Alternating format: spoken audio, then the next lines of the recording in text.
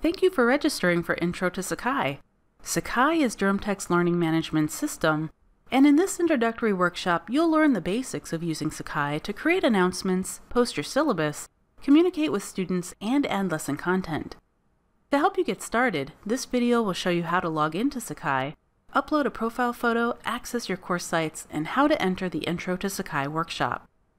To access Sakai, go to sakai.durhamtech.edu or you can use the link to Sakai that's located on the Employees page or on the Current Students page of Durham Tech's website.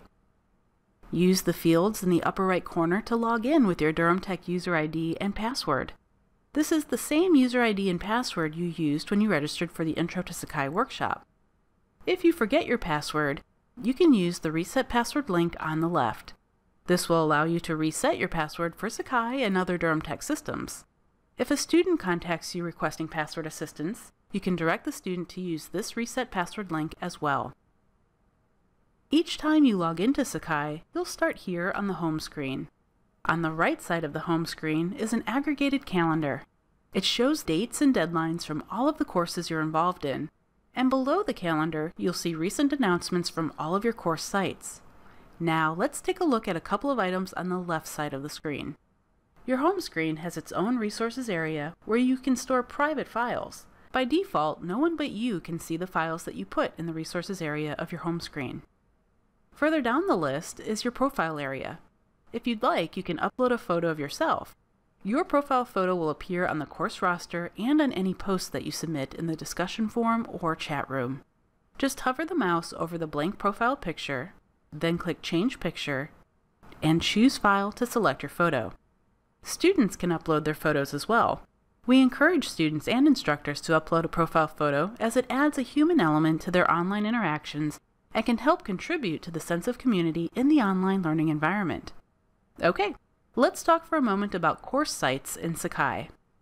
A course site provides a work area for a course section.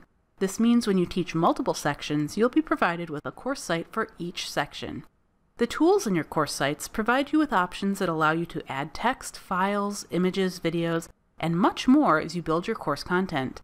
Your course sites also provide the tools you'll need to document student progress, provide feedback, and otherwise manage your courses. You'll learn more about some of these tools in the Intro to Sakai workshop, and others are covered in the Intermediate Sakai workshop. To access your course sites, click Sites in the upper right corner. Here you'll find a list of all sites you have access to. For example, this instructor has been added to the Intro to Sakai workshop and a practice course site. Sites with a yellow star next to them are favorited and are pinned to the navigation bar at the top of the screen for easy access. You can click the star beside any site to favorite or unfavorite it. When you close the Sites window, Sakai will prompt you to reload the page if you've made changes to your favorites. Okay, these were the basics of navigating Sakai. You'll learn more about how to use Sakai in the Intro to Sakai workshop. When you're ready to start, just log into Sakai and locate Intro to Sakai in your Sites window.